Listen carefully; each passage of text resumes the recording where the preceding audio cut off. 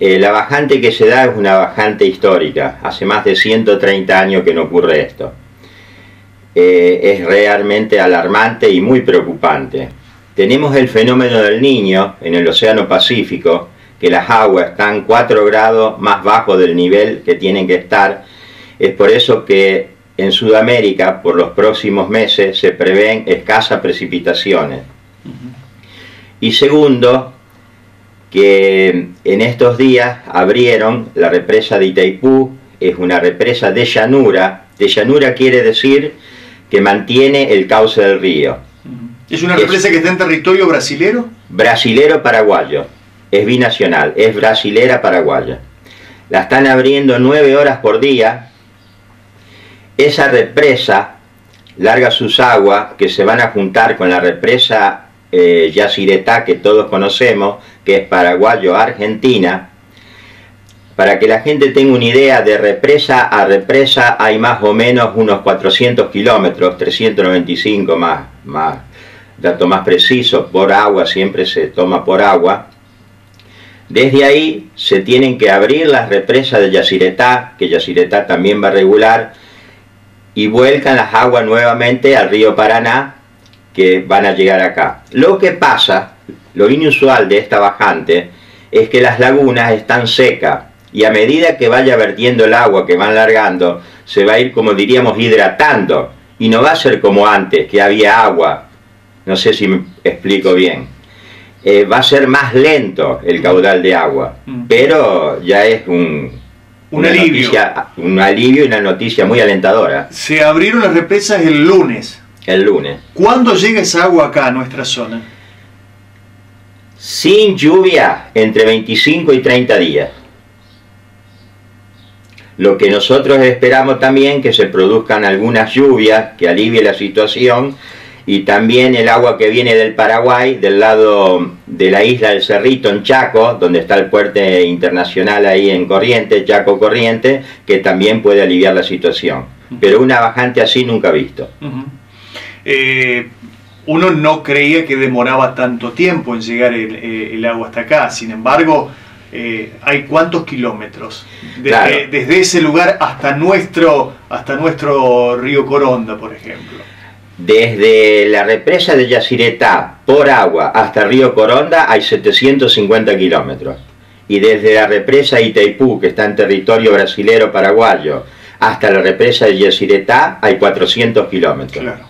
Así que hay 1.150 kilómetros de la represa que abrieron sus puertas hasta nuestra zona acá, Río eh, Coronda.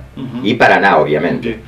A tomarlo entonces como una buena noticia, pero también a ser medidos, porque esto no es que inmediatamente llega en la semana, sino 25 30 días. Esto va a llegar alrededor de entre 25 y 30 días. Mientras tanto, este, no hay pesca, no hay este, eh, conducción de, lanchas allí, tráfico... Eh, eh, no, está todo parado. no, eso está todo parado. Está la pesca de sustentabilidad nada más y también es muy difícil para las lanchas y todo por los bancos de arena, tronco y eso. aparte fuera una cosa de loco andar ahora por el río porque es muy peligroso. Totalmente. de hecho vemos que eh, se van a intensificar los controles en Santa Fe porque por la bajante de la laguna Setúbal mucha gente iba en moto, entraba con la camioneta, una irresponsabilidad absoluta. Sí, la verdad que a veces mm, hay gente que hace cosas que no debería, pero bueno, no se puede estar controlando a todo el mundo, es por eso que a veces por justo pagan otros y, y hacen cosas que no debieran, pero bueno. Beto, eh, nuestros gobernantes le pidieron a Brasil y a Paraguay abran la represa porque acá nos quedamos sin. ¿Cómo se manejan estos temas? Digo, o cuando ellos tienen suficiente abastecimiento, dicen, no, esta agua nos pertenece a nosotros porque viene de aguas arriba de nuestro continente.